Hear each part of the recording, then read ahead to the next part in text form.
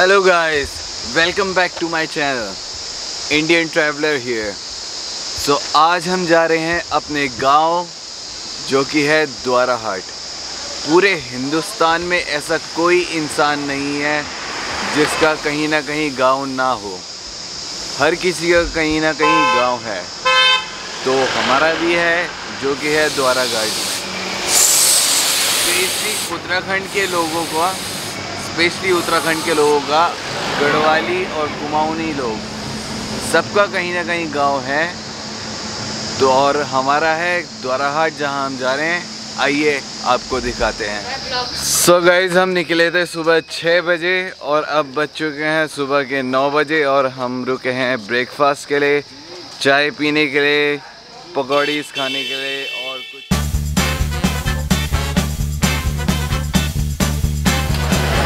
सो so guys चाय, पकौड़ी, नाश्ता वगैरह सब हो गया है। और हाँ सबसे बड़ी बात, इसको तो मैं इंट्रोड्यूस कराना भूल ही गया।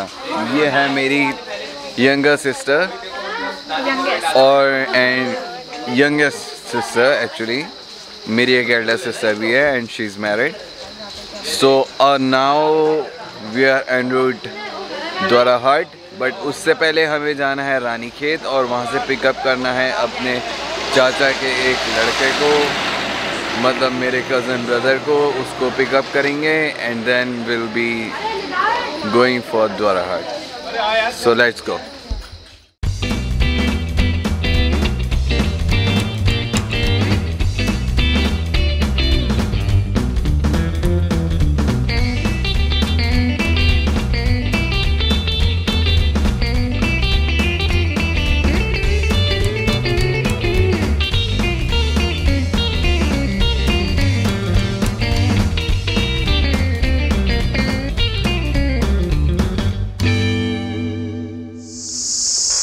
सो गैस हमारा जो टायर है वो फूल चुका है। एक्चुअली कुछ ऐसा हो गया है टायर। साइड से दिखाता हूँ। ये ऐसा फूल गया है सडनली अपने आप पता नहीं कैसे हमें खुद नहीं पता। सो so, अब हम इसे स्टेपनी डालनी पड़ेगी इस टायर को चेंज करना पड़ेगा। बट ये फूला कैसे पता नहीं।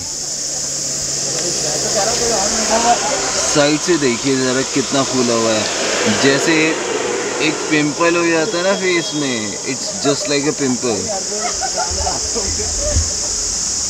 और जहाँ एक तरफ़ टायर फूला हुआ है वहाँ दूसरी तरफ़ पिकनिक चल रही है। पूरी खा ले। पूरी सब्ज़ी खाई जा रही है यहाँ।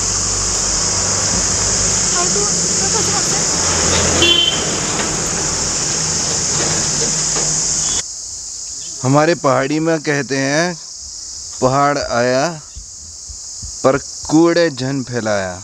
इसका मतलब होता है, आप पहाड़ आइए, बेहद आइए। शौक से आइए पहाड़ घूमने बट प्लीज़ ऐसे कूड़ा मत फैलाइए। ये जिस तरह से गंदगी दिख रही है हमें यहाँ पे अच्छा खासा इतना प्यारा नेचर है। ये देखिए कितना ब्यूटीफुल व्यू है। चारों तरफ़ देवदार के पेड़ हैं बट उसी टाइम पे सेम टाइम पे नीचे देखा जाए तो डिस्कस्टिंग सो so, इसीलिए कहते हैं पहाड़ आइए पर कूड़ा झन फैलाइए पहाड़ आइए पर कूड़ा मत फैलाइए।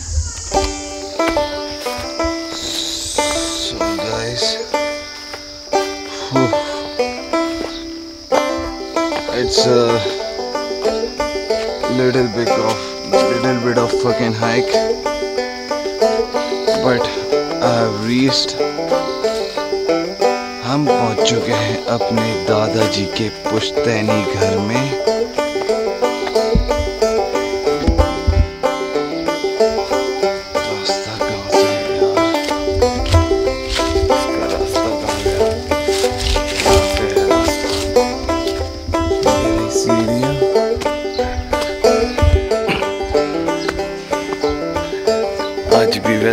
वैसा।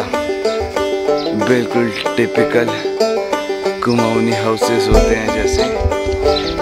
ये खाद वगैरह, जो उपजाऊ वगैरह, खेत खेत वगैरह फर्टिलाइजेशन के काम आती है। गाय, भैंस टिपिकल कुमाऊनी हाउस ये देखिए, ये रहा हमारा घर।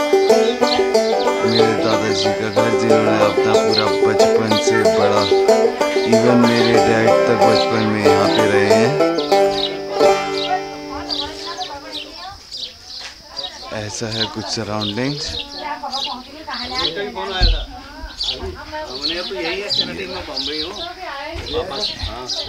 गाड़ी पंचर हुई थी तब ऐसे होते हैं कुमाऊं के टिपिकल घर। अभी मैं आपको दिखाता हूँ अंदर से।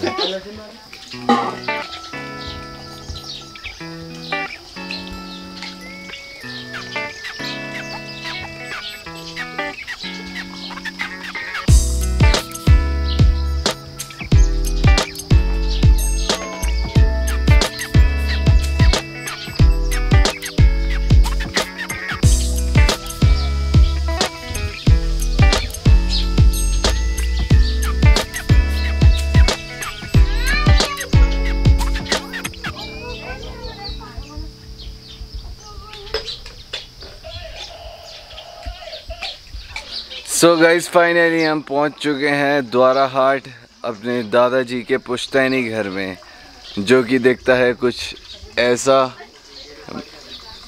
आई होप मैं आपको ऑलरेडी दिखा चुका हूँ। काफ़ी मज़ा आया। मैं काफ़ी कम से कम 10-15 साल बाद यहाँ आया हूँ। बचपन में ही आया था लगभग। तो काफ़ी मज़ा आ रहा है ये चीज़ सब दोबारा से एक्सपीरियंस करके। ये सब कुछ गाँव ठंडी हवा ताज़ी हवा it's all amazing very much amazing हमारा कुमाऊँ बहुत ही ज़्यादा ब्यूटीफुल है। सो गाइस ये मंदिर में बत्ती जलाई जा रही है एज आई टोल्ड यू हमारा जो मंदिर था वो वहाँ उधर उस कोने में हुआ करता था। उधर उस कोने में लेकिन ये सब टूट जाने की वजह से हम वहाँ जा नहीं सकते। सो so, यहीं से बत्ती जला के हम भगवान जी को याद करेंगे और प्रणाम करेंगे। जय श्री राम। यार मुझे ना आग लगाने का ये सिस्टम बहुत सही लगता है। खाना बनाने के लिए बहुत सही है। इसको क्या बोलते हैं? लकड़ी। ये पीरू है। लकड़ी है और पेरू। ये ये जो चीज़ है ये पीरू। इसको पीरू बोलते हैं। हाँ ठीक है, अब इसमें लगा दी आग। ओके।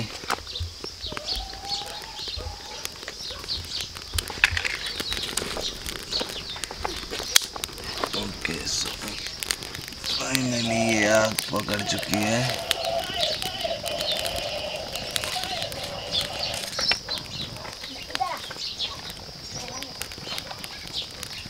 खाना बनाने का बहुत बढ़िया तरीका है यार ये।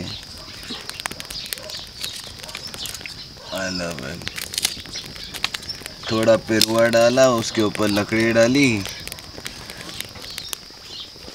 तीन तीन ईंटें लगा दी उसके ऊपर मिट्टी और गोबर का लेप लगा दिया ना? हाँ। मिट्टी और गोबर का लेप लगा दिया वो बन गया एक पक्का चूल्हा। और ऐसे बन जाता है इजीली बिना गैस के खाना। और ये आप देख सकते हैं यहाँ पे कढ़ाई रेडी रखी है। और गैस हमारी तैयार हो ही चुकी है।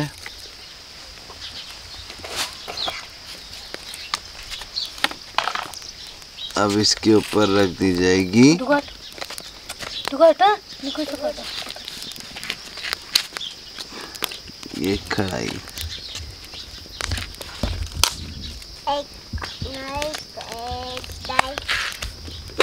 अब इसके ऊपर रख दी जाएगी ये कढ़ाई।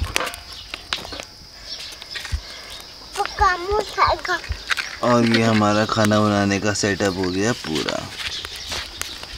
और ऐसे बन जाएगा हमारा आज का lunch wow such a wonderful thing ये सब चीज़ें गाइस आपको सिर्फ़ गाँव में देखने को मिल सकती है। It's such a beautiful thing शहर में तो शायद ही आपको कहीं देखने को मिले। लेकिन ये एक से एक तरीके, एक से एक तरीके I am amazed literally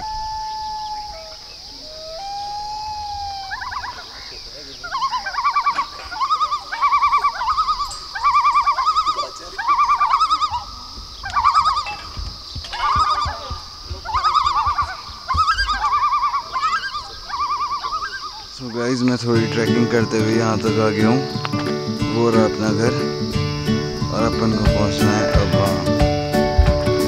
रास्ता देखते हैं। और चलते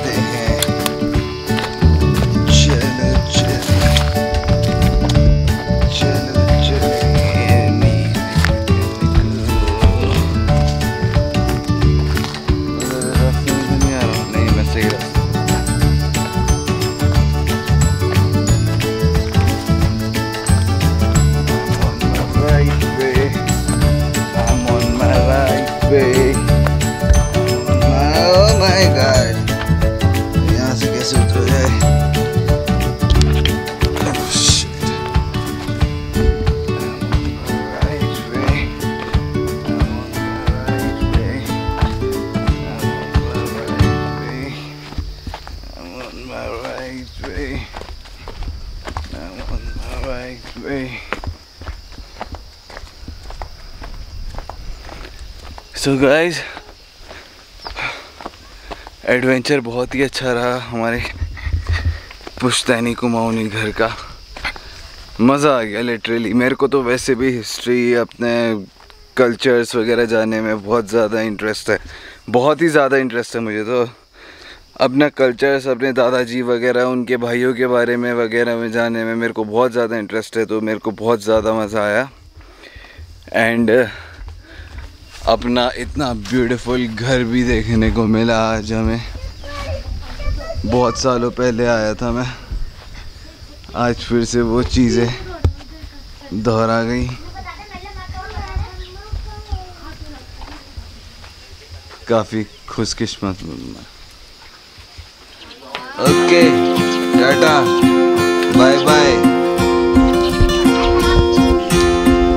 so guys आज का ट्रिप फाइनली ओवर हो गया है। दादाजी का घर देख लिया, बहुत अच्छे से। काफ़ी अच्छा लगा, मज़ा आया।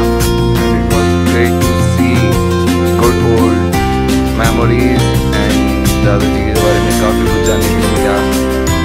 काफ़ी अच्छा था फाइनली सो अब इनको करते हैं टाटा बाय बाय और बाय बाय एंड दैट